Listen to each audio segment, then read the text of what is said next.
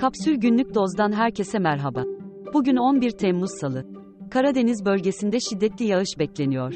Başta batı şehirlerinden başlamak üzere hava sıcaklıkları birkaç gün içinde mevsim normallerinin üstüne çıkacak. Şimdi haberler.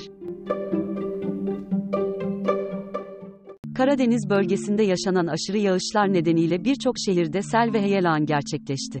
Heyelan nedeniyle Ankara-İstanbul otoyolunun İstanbul yönündeki Bolu Dağı tüneli çıkışı kapandı. Bu nedenle İstanbul'a ulaşım Ankara-Eskişehir-Bilecik-Sakarya yolu üzerinden sağlandı. Aynı şekilde Zonguldak-İstanbul yolu da aşırı yağış nedeniyle kapandı.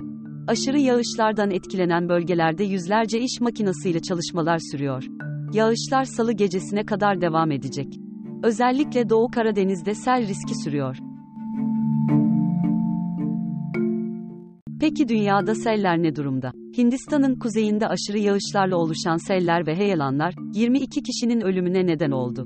Bölgeye düşen yağışın Temmuz ortalamalarının en az iki katı olduğu bildiriliyor.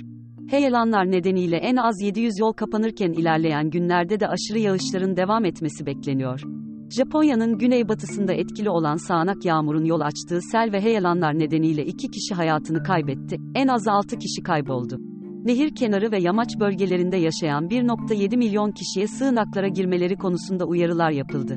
ABD'nin New York eyaletinde de aşırı yağışların neden olduğu sel, bir kişinin ölümüne yol açtı. Bölgedeki şiddetli fırtına ve aşırı yağışlı havanın süreceği öngörülüyor. Cumhurbaşkanı Erdoğan'ın üçüncü kez aday olmasına itiraz eden ve kararı Yüksek Seçim Kurulu'na götüren Hakim Ahmet Çakmağ'ın meslekten ihracı istendi. Hakimler ve Savcılar Kurulu, farklı gerekçelerle iki kez yer değiştirme cezası vermişti. Kararda Çakmağ'ın, mesleğin şeref ve nüfuzunu ve şahsi onur ve saygınlığını yitirmesi gerekçe gösterildi. Karadeniz'de son 10 yılda akıntı nedeniyle 304 kişi hayatını kaybetti. 12 şehrin kıyı şeridinde boğulma tehlikesi geçiren 648 kişiden 304'ü boğuldu. Vakaların %70'i 30 yaş altı kişiler iken boğulma olaylarının %80'i erkek, %20'si kadınlardan oluştu. En fazla boğulma vakası Samsun'da, en az Artvin'de gerçekleşti.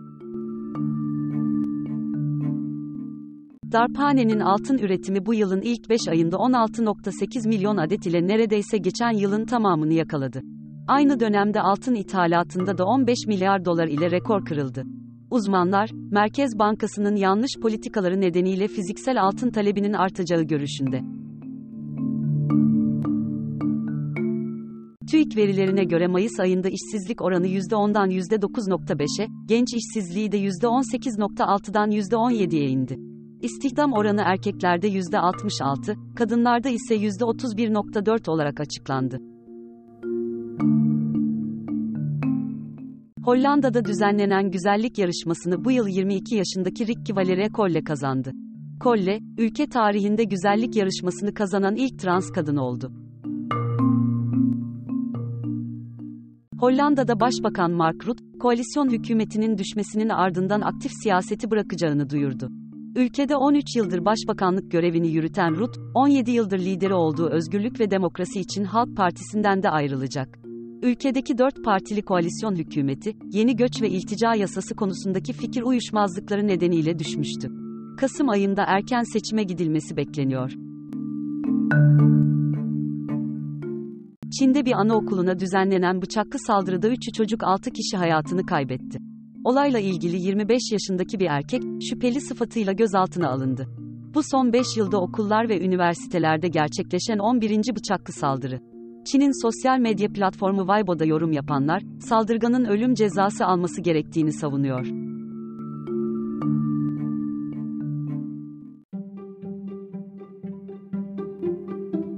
Daha fazlası için kapsül.com.tr adresini ziyaret edebilirsiniz.